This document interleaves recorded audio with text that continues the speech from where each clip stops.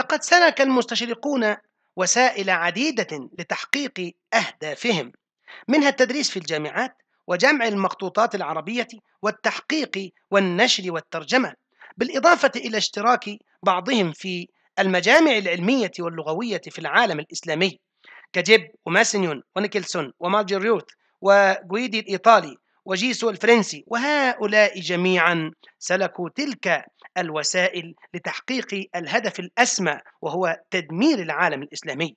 وسوف نلقي ضوءا سريعا على أخطر الكتب التي بثها المستشرقون على الإطلاق.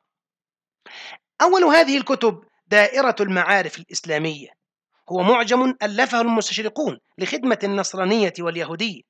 حيث إنهم لم يتركوا شيئا من عقائد الإسلام ولا شرائعه إلا صوروه لقرائهم بما يخالف الصورة الحقيقية عن الإسلام وما يشوه من الحقائق عرضوه بصورة عادية لا مزية فيها.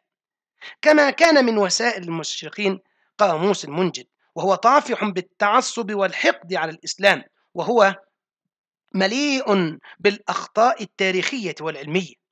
كذلك كان من بين مؤلفاتهم الضخمة المليئة بالأحقاد والضغائن الموسوعة العربية الميسرة.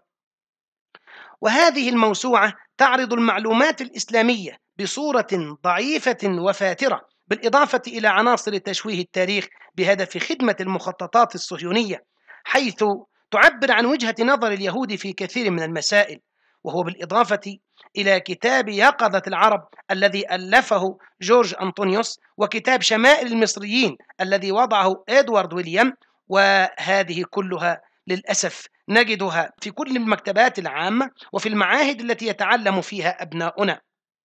ومن هنا يكون الخطر على أفكارهم ومستقبل أمتنا.